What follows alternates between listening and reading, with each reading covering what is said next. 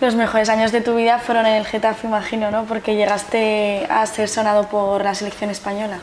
Sí, eh, disfruté muchísimo en Getafe, o sea, también en Sevilla. Sevilla también eh, es innegable que, conseguir eh, el ascenso y, todo lo que vives ahí con una afición tan espectacular como la de Sevilla, disfruté muchísimo. Pero en Getafe, quizá futbolísticamente, por el tipo de entrenadores que, que tuvo y que, que, quizá veían el fútbol más como, como yo, con, con Laudrup, Schuster, Mitchell, eran jugadores, perdón, entrenadores que, que les gustaba más el fútbol combinativo y a mí me dejaban mucha libertad para, para llegar al área, para, para, jugar, para acercarme al juego y, disfruté, disfruté mucho individualmente y luego colectivamente porque el grupo era muy bueno.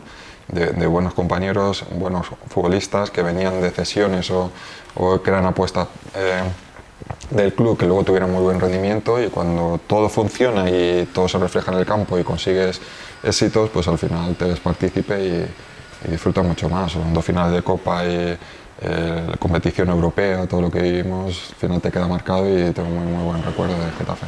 Hablas de esa competición europea, que el Getafe a punto estuvo de dar la campanada contra el Bayern, empató en el Allianz y luego en Getafe esa expulsión de De La Red, que un poco rigurosa, ¿no? Tal vez.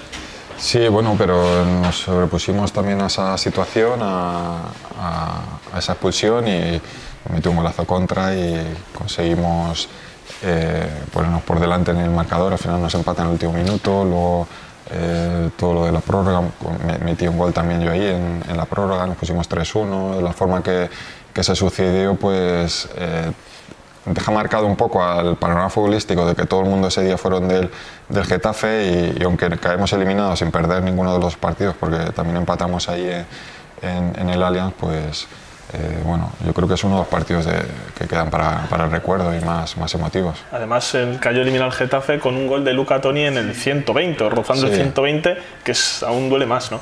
Sí, sí, porque la forma que, que fue en el último minuto y en la prórroga, pues eh, resulta todo más, más doloroso, pero bueno, son situaciones de partidos que vienen y, y este fue así.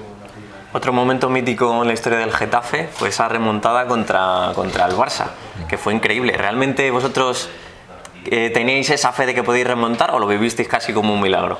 Pues fue bueno, una gesta realmente. Una, situación eh, después del partido de, de Barcelona, que Messi nos metió el gol, que, bueno, todo el mundo estaba esperando. A nadie le gusta eh, verse todo el día en, esas imágenes del gol que, te marca Messi. Y bueno y Schuster también tuvo buena culpa de cómo nos motivó para ese partido.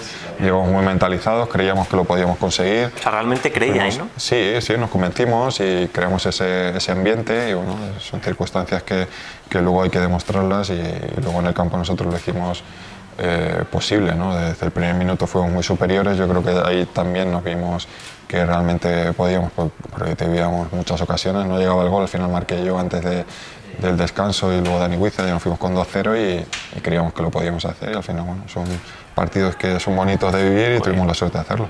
La fiesta tuvo que ser épica, ¿no? Después de, de lograr sí, sí, porque en ese momento pasábamos a, se dieron muchas circunstancias, aparte de la remontada pasábamos a la final y y el que juega la final por, la, por, eh, por, estar el Sevilla, que también está en competición europea, entrábamos nosotros directamente. Luego ya no, no, ha surgido esto, pero en ese momento nos aprovechamos y era algo histórico, ¿no? jugar una final y clasificarte para Europa para un club como el Getafe era lo máximo. Y antes de eso, ya lo decías tú, el gol maradoniano de Messi, mm. el mejor gol de la historia, por lo menos en España. ¿Cómo lo ves tú? Pues bueno, como estaba yo por ahí en medio, pues no me gusta mucho que sea así, pero bueno. Eh, sí, fue un golazo, se fue de 4-5 y... ¿No te pilló a ti cerca para intentar...? Estaba cerca, pero no, no llegué, no... Pensé en tirarle algo, pero no llegaba. no, llegaba. Eh, no, fue un golazo y, fue, yo creo que a partir de ahí se destapó lo que, lo que fue él, fue su primera gran gesta, ¿no? el primer golazo que, que, que metió y, y luego a partir de ahí todo lo que ha hecho en adelante. Mencionabas el paso a esa final de Copa, que fue contra el Sevilla, si no recuerdo mal, marcó Canuté. ¿Cómo se vivió aquello? Porque tal vez sea la oportunidad marcada en la historia del Getafe. tuvimos otra también. Tuvimos mala suerte que, que, he perdido dos finales de Copa del Rey. Pero en esta primera eh, llegamos nosotros bastante bien, bueno, las dos, pero en esta el Sevilla también llegaba ahí un poco, un poco cansado, luego tenía la, la, Copa, la Copa de la UEFA que jugó y, bueno, fue un partido en el que nosotros justo antes había quedado Dani Huizta delante de, de Palor y, la, falla y, Canute se queda delante y, marca y luego pues quizás no teníamos ni la experiencia ni los futbolistas de nivel para, para poder ganar una final a, Sevilla. Otro Getafe que, que, jugó en la Copa del Rey fue contra el Valencia. ¿Ese fue el mejor equipo que pudisteis tener? Sí, bueno, a ver, lo ideal hubiera sido que todo lo que fuimos eh, teniendo de, jugadores y en las distintas temporadas se hubiera juntado y hubiéramos salido un grandísimo equipo. Sí, íbamos también con, un gran equipo y con, opciones, de nuevo, de, poder hacer algo importante, pero quizá el momento no era, no lo justo. Algo más adelante en el tiempo hubiéramos llegado más preparados porque veníamos de perder la final, o sea, las cuartos con, con el Bayern Múnich hacía nada, una semana creo, y, y el equipo no estaba anímicamente todavía recuperado para afrontar una, una final. Ellos también venían con muchos problemas con Kuman, con el vestuario eh, partido, con el entrenador, pero cuando hay una final y un título se unieron y es que tenían un equipazo. O sea, ves solo la alineación con Silva, Villa, no sé, tenían Baraja, tal, o sea, tenían Marchena, tenían un equipazo realmente. Y nosotros, fíjate que en, yo creo que en Liga los habíamos ganado y, nos veíamos capaces también de, de ganarle. Es, contra quién hemos competido, los equipos que tenían dando Sevilla-Valencia y hasta dónde hemos llegado, o, al, al, Barça que llegamos a ganar en Copa con Ronaldinho, con Xavi Iniesta, o sea, todos estos, el Getafe les ha podido plantar cara y estar ahí, yo creo que tiene muchísimo mérito de lo que hicimos.